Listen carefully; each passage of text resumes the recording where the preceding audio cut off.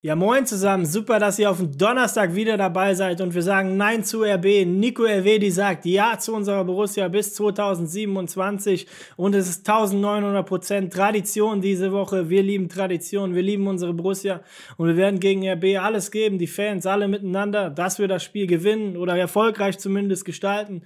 Und wer Tradition liebt, lässt jetzt gerne ein Abo, einen kostenlosen Daumen nach oben da für Buschis Borussia. Ja, und es ist immer ein prickelndes Spiel gegen RB. Ähm, es gibt viele Randthemen. Ich werde mich einmal kurz dazu äußern und dann gehen wir zu den aktuellen News und den sportlichen Dingen. Ähm, grundsätzlich ist es so, am, Son am Samstag wird es wieder Protest geben. 19 Minuten wird gepfiffen mit Trillerpfeifen. Ähm, ja, grundsätzlich finde ich es immer gut, wenn man gegen etwas protestiert, was einem missfällt. Ähm, und ich finde die Aktion auch gut. Ob uns das der, das der Mannschaft hilft oder nicht, sei mal dahingestellt. Aber grundsätzlich ist es gut, wenn man gegen Dinge aufsteht, die man grundsätzlich ablehnt. Und da bin ich dabei. Kommerz gehört im Fußball dazu. Ähm, da müssen, müssen wir uns alle nichts vormachen. Borussia hat auch ganz, ganz viele Werbepartner, auch Sportwettenpartner. Ähm, ja, und die zahlen uns auch nicht mit Nüssen, sondern mit Geld, um was zu entwickeln. Das ist ganz klar. Nur bei RB ist es halt so, es ist halt vor allem ein Marketingball. Es ist ein Marketingball. Ein Unternehmen kauft sich einen Verein, einen Unterklassigen, führt ihn nach oben und nutzt ihn als Marketingball. Das hat mit einem Verein nichts zu tun. Das ist ein Unternehmen, der in der Struktur mit mehreren Vereinen, Salzburg, äh, New York und noch ganz, ganz vielen anderen eingereiht wird. Und äh, das gilt aus meiner Sicht abzulehnen, weil sonst haben wir das, was wir jetzt sehen: 15 Leute im Auswärtsblock und dann gehört Fußball nicht mehr den Fans, sondern irgendwelchen Unternehmen. Und dann ist es irgendwann vorbei mit der Stimmung. Und das lehne ich grundsätzlich ab. Und deswegen finde ich die Protestaktion sehr, sehr gut. Ähm, wie ob man die so gestalten muss, sei mal dahingestellt. Aber ich finde es immer gut, wenn Leute gegen etwas aufstehen, was ihnen missfällt. Und äh, ja, Fußball gehört einfach den Fans. Ohne Fußball, äh, ohne Fans ist der Fußball ja ganz, ganz wenig. Und äh, ja, natürlich kommt Max Eber zurück. Ähm, das muss er selber wissen, ob er morgens noch ein Spiel gucken kann. Ne? Bei Borussia hat er immer diese Spielergeschiebe abgelehnt. Erster Transfer, Seiwald und stellt sich dann hin und sagt, das sind die Transfer wie jeder andere. Muss er selber wissen, ähm, das ist nicht mein Bier. Ähm, wir haben genug Probleme, wir brauchen dringend Punkte und darum geht's. Ähm, wir brauchen eine geschlossene Mannschaftsleistung und da hat heute jemand den Grundstein gelegt, wo ich mich sehr, sehr drüber gefreut habe. Nico Elvedi hat seinen Vertrag bei unserer Borussia verlängert bis 2027. Man muss sich mal vorstellen, der ist in dem Jahr, wo Lars Stindl zu uns gekommen ist, äh, ja, auch zu uns gewechselt. Das ist, glaube ich, 18-, 19-Jähriger, hat sich durchgesetzt, hat mittlerweile schon 272 Spiele für unsere Borussia gemacht. Ähm, ja, war eigentlich immer da, hatte jetzt auch eine schwierige Phase, ähm, anderthalb, zwei Jahre, wo er einfach auch nicht am Leistungslimit war, wie ganz, ganz viele andere. Ich hoffe einfach, dass er da wieder hinkommen kann, unsere Abwehr stabilisieren kann. Ähm, das brauchen wir unbedingt. Und äh, ja, es war für mich überraschend, dass der Vertrag doch so lang geht. Ich hatte eher mit einem Jahr gerechnet. Ähm, jetzt ist es bis 2027 geworden. Wie kolportiert wird, hat er eine Ausstiegsklausel. Ob es jetzt 10 Millionen sind, 15 oder 20, ist reine Spekulation. Und wann die gilt, ich habe auch schon gelesen, vielleicht sogar erst ab 2025. Das ist alles nicht bekannt. Ähm, ja, trotzdem finde ich es ein wichtiges Zeichen von Nico Elvedi und man muss sagen, Roland Wirkus großes Kompliment. Also es geht keiner mehr ablösefrei. Wir werfen gleich mal einen Blick auf die äh, auslaufenden Verträge 2024. Roland Wirkus hat da absolut sauberen Job gemacht.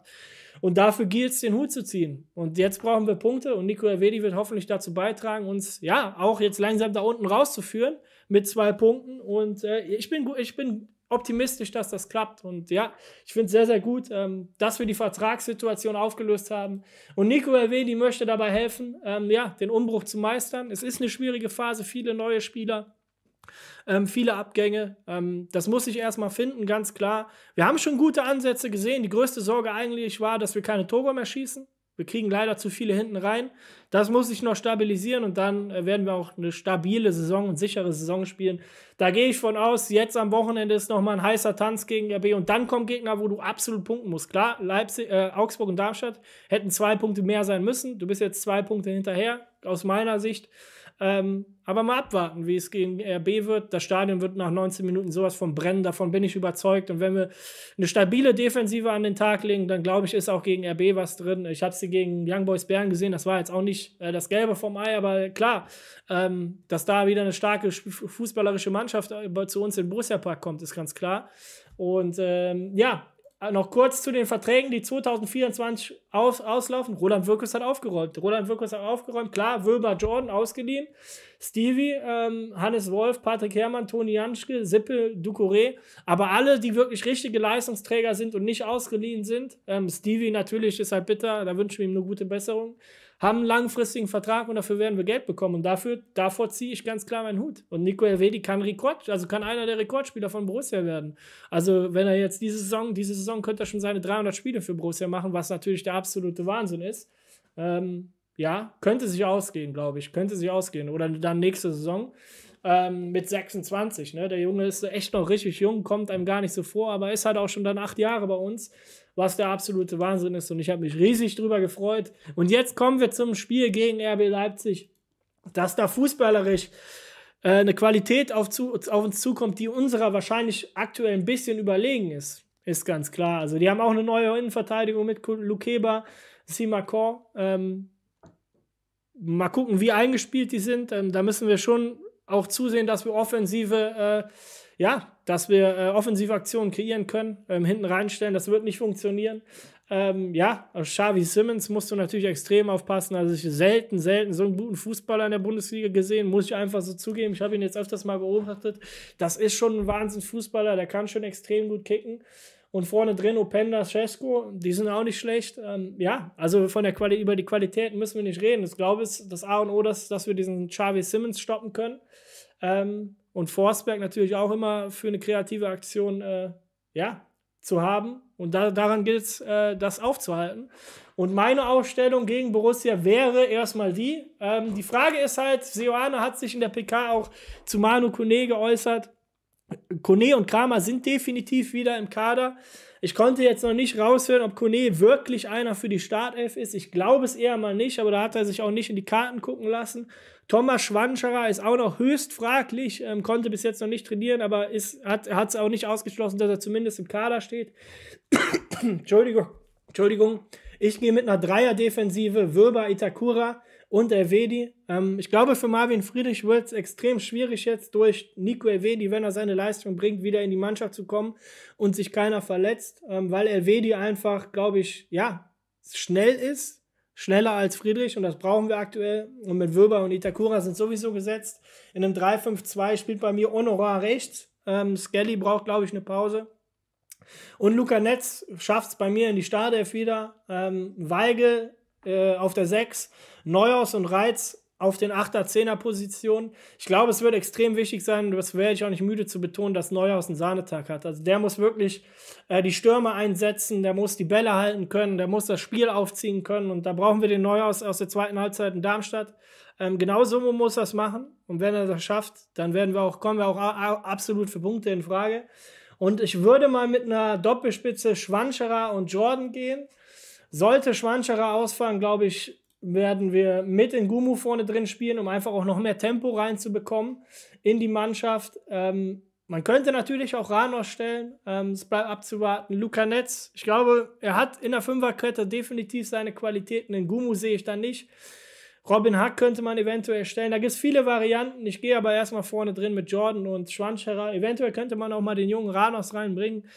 Und wir werden ein anderes Spiel sehen. Ich glaube nicht, dass wir nochmal äh, so eine Halbzeit wie gegen Darmstadt sehen in der ersten Halbzeit. Ich, daran glaube ich nicht und das hoffe ich auch nicht. Ähm, Player braucht, glaube ich, eine Denkpause. Obwohl natürlich Player an einem guten Tag auch immer für ein Tor in Frage kommt und absolut äh, stark ist. Würde ich mir wünschen, aber ja, nach dem Auftritt ist natürlich jetzt schwierig, der Mannschaft zu vermitteln, dass Player spielt. Und ich glaube, deswegen kannst du ihn auch gar nicht ausstellen bin sehr, sehr gespannt auf eure Aufstellung in den Kommentaren. Und jetzt, wie immer, gibt's meine Tipps zum Wochenende. Stuttgart ist gerade extrem gut drauf. Die werden das Ding 3-1 gewinnen. Auch Bochum in München wird keine Chance haben. Ich glaube, der BVB wird 1-1 spielen. Union Berlin gegen Hoffenheim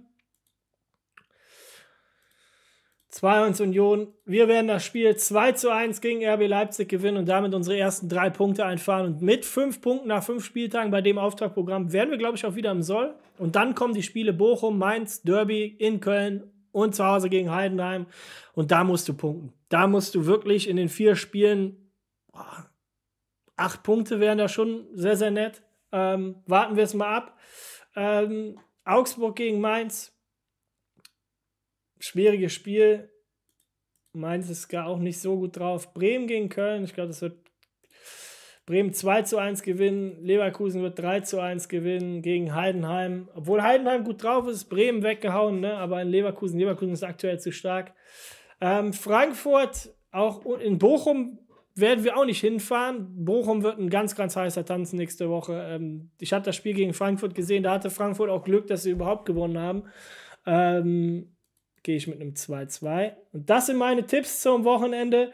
Und wenn ihr heiß mitdiskutieren wollt, gibt es natürlich den Discord. Aktuell 2350 Leute, einfach der Wahnsinn. Bilder aus dem Stadion, Tickets, also nicht Tickets Austausch, sondern Diskussionen über Tickets, Fahrgemeinschaften, Spieltagstalk, Pressekonferenz. Hier gibt es alles Mögliche.